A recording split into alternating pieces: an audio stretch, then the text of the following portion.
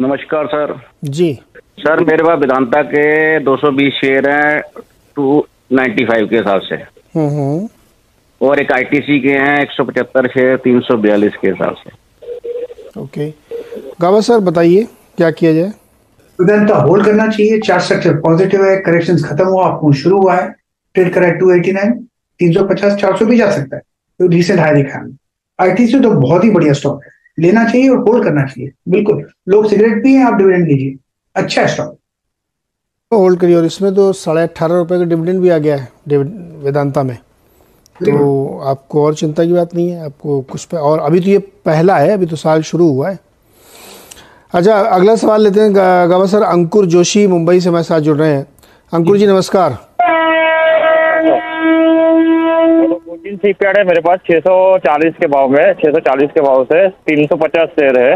हाँ। और अदानी पोर्ट है 712 में वो 200 शेयर है। तो उसका क्या करना चाहिए अभी?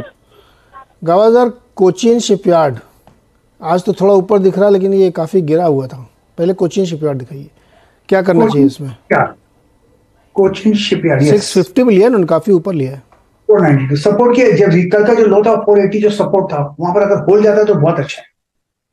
हो सकता है होल्ड है, क्योंकि वहाँ पर two hundred day moving average है। लेकिन यही एक है कि जस्ट होल्ड कीजिए फ़िलहाल फोर एटी का। मेरे ख्याल से होल्ड कीजिए, आपको फिर मिल जाएगा। क्यों गिरा है इतना, मुझे पता नहीं फंडामेंटल रीजन आपको पता होगा, लेकिन फोर एटी में स्ट्रॉन्ग सपोर्ट जोन है। Hope it holds Adani ports Adani ports का जो स्टॉक है, बहुत बढ़िया है। अपू मिला है। अपू मिलना चाहिए। ट्रेड कर रहा है सेवन फोर्टी नाइन पर। वक्त जितना ज़्यादा देंगे। अब लगता है अडानी के बुरे दिन खत्म हुए अच्छे दिन आने वाले हैं। 900 का जोन भी देखेंगे।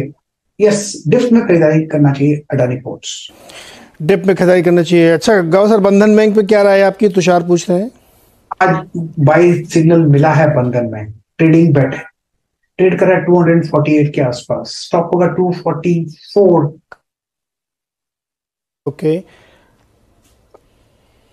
गावा सर का फ्रेम फ्रीज हो गया लग रहा है।